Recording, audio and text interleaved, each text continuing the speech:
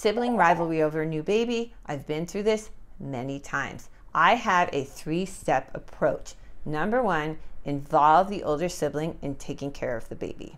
Number two, try to spend some dedicated time with the older sibling. And number three, give it time.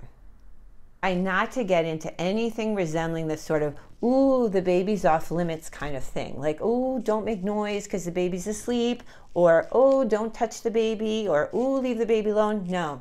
You want to try as best you can to involve the older children as much as possible in taking care of the baby and nurturing the baby. So if kids are really young, I would ask them to do very simple things like, oh, could you please bring mommy that burp cloth over there? Could you please bring mommy that diaper? Could you hand mommy that pajama?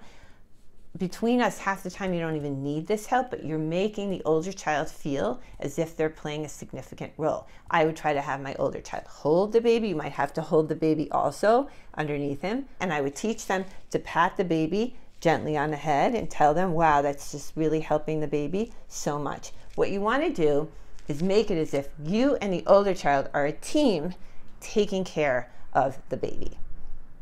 I recommend having your older children visit the baby as soon as possible after birth in the hospital or birthing center.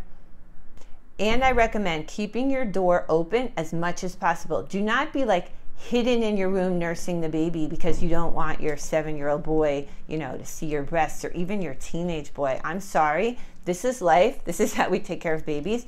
I've been like sitting on my bed when I get home from the NICU, pumping. I used to cover up and now I just pump. And my boys come in, they're like, Mom, and they just tend to focus on my face. And guess what, guys? I have a 13, 15, and 16 year old boy right now. So they are not too into seeing mommy's breasts, but that just is what it is.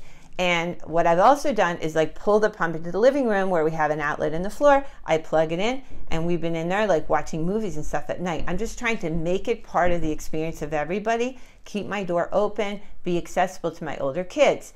It's really key that they see the baby as like a fun new addition to the family and not as some sort of restraint on their ability to be with you or to have fun.